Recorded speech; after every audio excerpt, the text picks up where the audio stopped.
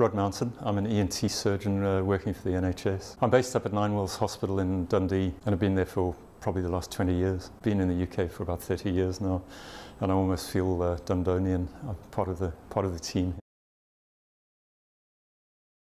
No, a fantastic question because it's really changed my way of thinking completely. It's uh, just a whole new way of approaching things. And I think you're quite right. It was us meeting up, meeting a, a student, yeah. Chris McCann, yeah. who I think if you look at his strengths in life, he's, he's got a strong design-led focus mm. into the products that he's developing now, even as a medical student, you know, yeah. hard to believe. So a journey that started there, but then fed into links with Duncan of Jordanstone College of Art and Design. Yeah, quite significantly. If you'd asked me two years ago, what does design mean in a healthcare setting? I'd, I'd probably look at you a, with a slightly glazed look and think of architecture, maybe buildings. And I think if you even went and Googled mm. uh, healthcare design, that's what you end up with.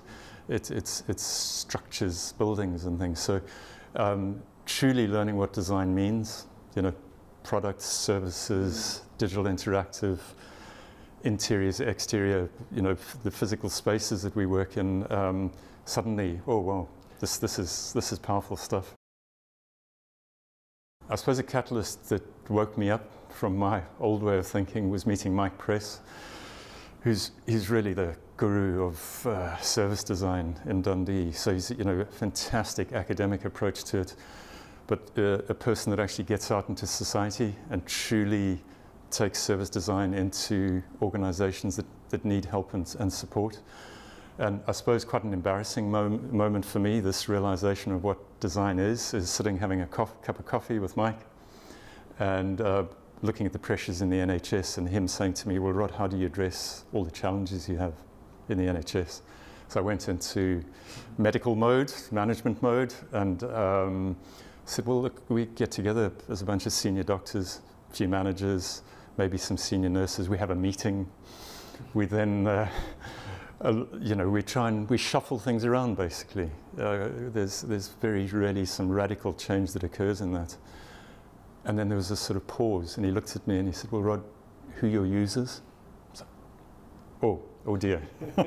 you know, we've completely uh, forgotten about engaging with our users, our patients, our carers, our staff that work in our, our teams in the hospital. So that's that, that one engagement sort of changed my mindset completely. And then I've gone off and tried to learn the language of what design's all about. And I think that's where you and I are.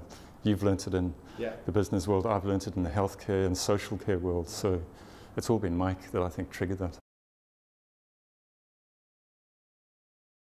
What, what I've learnt is I went along to a lot of uh, Mike and Hazel's service design events yeah. and actually saw how they structured a service design engagement with a challenge mm. uh, and learned the tools that they um, have that they use in service design, uh, you know, empathy mapping, um, a whole lot of other tools, rip and mix, yep. things that you can actually take and, and use in a practical sense.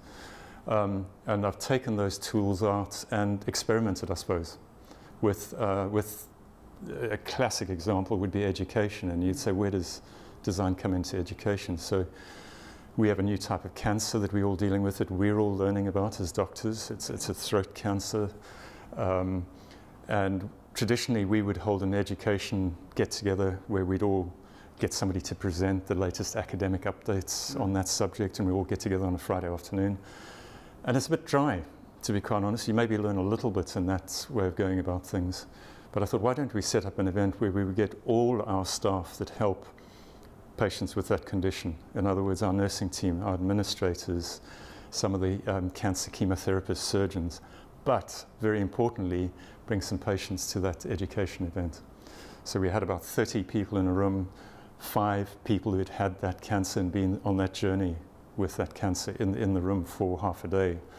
And it was just fantastic. We listened to their stories um, and the touch points along the way, all these design sort of approaches, and we learned more as a team, the patients learnt a lot about the disease. We learnt so much from them, and we learnt things that we'd never have expected. A lot of things. Yeah, I mean, it's a very good question to a doctor. We, sh we should be the people in society that know everything about empathy. I can assure you we don't. It's not even taught to our medical students and our, and our nursing students. And it's fundamental to not only the way we work in the health service, but to everybody in their personal lives, in their business lives, just in any engagement with human beings. And um, that whole thing of genuinely getting into the shoes of another person, sort of seeing things through their eyes, hearing what they, they're saying and, and, and what they're hearing in your engagement.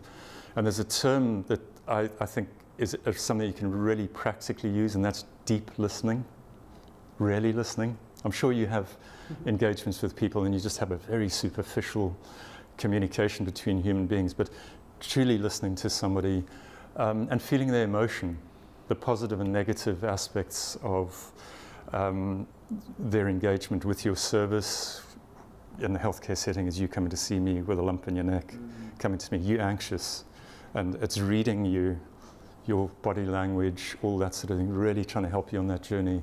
Very, very powerful. And it builds trust. Big, big thing. If you're an empathic person, I think people um, trust you and invaluable, I think, in business, health service, whatever we do. There are a lot of guys my age that are thinking about retiring. I'm not. and I suppose just because of what design, empathy, all these sort of things I think can genuinely do to our organizations to make them function better. Um, I think design as a sort of term sits halfway between, it's the interface between science and art. It, it's the glue, bring, brings them together.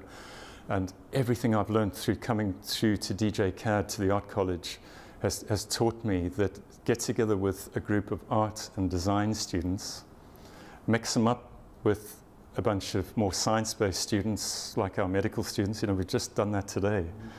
Got, what, 35, 36 of them all together, looked at a challenge of redesigning our hospital from an empathic point of view, people with disabilities, hearing, vision, all these sort of things so powerful in what those students came out with through an empathic approach, through a design-led way of thinking. And I really want to get all our students, our medical students, our nursing students, to learn the language, to learn the tools. It's going to take a while and a bit of convincing, but uh, that, that's what I want to try and do.